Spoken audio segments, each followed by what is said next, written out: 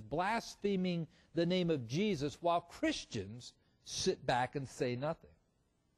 For many who reject the Bible as truth and Jesus Christ as their Savior, blaspheming our Lord is something they do without conscience or any fear of repercussions. Entertainers like George Carlin, Bill Maher, Rosie, many others have openly mocked and blasphemed Christ their entire careers to the laughs and cheers of those who listen to them. Others have used their God given gifts and talents to publicly blaspheme the Lord through books, motion pictures, music, and art. As the years have rolled by and the nation gets further away from God and biblical values, the blaspheming of Jesus gets more frequent, more bold, and more disgusting. Many have used their imaginations to creatively blaspheme the Lord in every way possible, while Christians sit back in virtual silence. Paul Verhoeven, the director of Basic Instinct, the Sharon Stone movie, and other motion pictures, will soon be releasing a biography of Jesus where he makes the shocking claim that Christ was probably the son of Mary and a Roman soldier who raped her during the Jewish uprising in Galilee, and says that Christ was not betrayed by Judas Iscariot, one of the twelve original apostles of Jesus, as the New Testament states.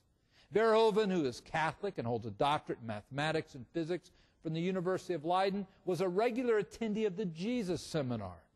That seminar, something I've warned people about for years, calls into questions miracles and statements attributed to Jesus in the Bible and rejects the divinity of Christ. Also on the blaspheming Jesus front is B. Hussein Obama advisor Larry Lessig a Stanford University law professor, who includes in his lecture a video of a gay Jesus sashaying nearly naked down a city street to the tune of Gloria Gaynor's I Will Survive, only to get run over by a bus. We know from the Bible that in the fulfillment of Scripture, he was mocked and scorned in the last hours of his life. So many of the supposed lost books of the Bible and these new gospels are nothing more than the anti Christian writings of men who rejected the message of Christ and who he is. Those anti Christian writings have always existed throughout the last 2,000 years, right up to today with the modern day heretics like Dan Brown, the author of the Da Vinci Code, Michael Baigent, who wrote the equally blasphemous Jesus Papers.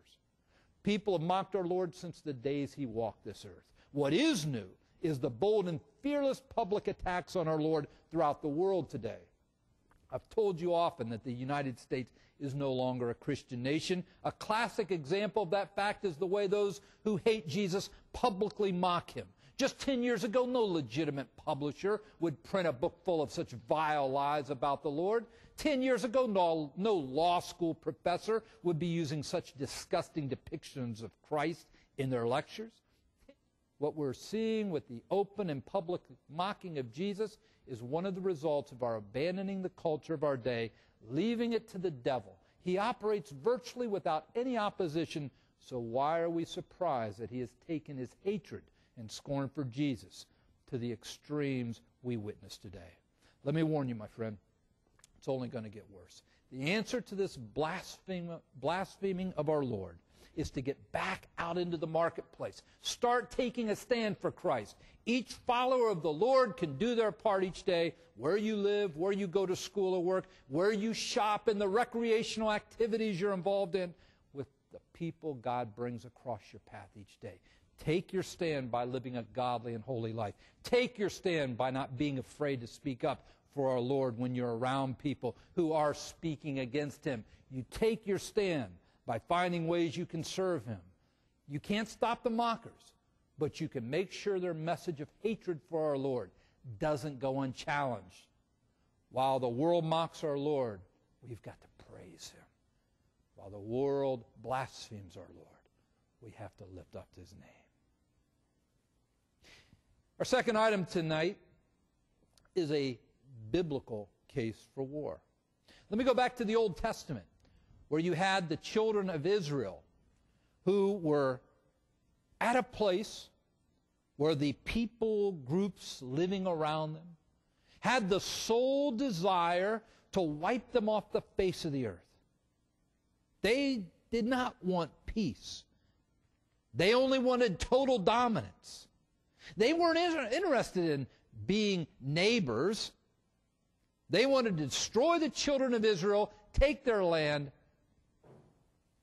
and they wanted to be in total power. Well, let me tell you something, my friend. We have that same phenomenon today. You've got to understand those people who want to see this nation obliterated from the very map, want to see you and me dead, have no desire for peace. That's what people don't seem to understand. It takes two to have peace. And we are at a place where we have a very real enemy that doesn't desire peace, only our total annihilation. So we really have two choices. We either take the offensive or we sit back and do nothing and get obliterated. Is war something God enjoys? Absolutely not. Does God want us to be in war? Absolutely not. But we have every right and we have every responsibility to defend ourselves from people who aren't interested in peace, only interested in our total annihilation. Let me say that one more time. We have every right, and our government has the sole responsibility of protecting us, of keeping us safe. So I understand that the war has many detractors. I understand the peace without war, Pollyannish views of, uh, uh, of many would love for there to be no war. But even Jesus said that you will have wars, rumors of wars, until the end of the days. Sadly, there are people that don't have a desire for peace. They have no desire to live peaceably with others. They only have a desire for total domination. We have a very real enemy out there that doesn't want peace, only our annihilation. And once again, we have every right, we have every responsibility to not only defend ourselves, but to keep our nation safe. Lastly, tonight, I want to talk to you about the economy. And I want to proffer for you tonight something to ponder. I have stated for a long time now that we are not only due God's judgment, we are overdue God's judgment. If for no other reason, forget the fact that we worship the false gods and idols of the world. Forget the fact that homosexuality and other sexual sin is rampant. Forget the fact that we just absolutely live in utter rebellion to God and His Word. If nothing else, the fact that this nation legally slaughters 4,000 innocent babies every single day is reason enough to expect God's judgment on this nation. Let me tell you, I want to proffer it to you tonight very quickly for you to ponder the fact that God could easily use the economy as an instrument of his judgment. Just tweak the economy a little bit, and this nation could be in a position most people couldn't even fathom. Do you know that China basically owns this nation now? They've been buying up our debt, buying up our debt, buying up our debt. Guess what? If they're buying up our debt, that means we owe China. And if they ever decided to sell our dollars and, and, and flood the world, the dollar, is, as bad as it is now, could absolutely crash. And I submit to you tonight, it would be worse than any tsunami. It would be worse than any earthquake, any hurricane.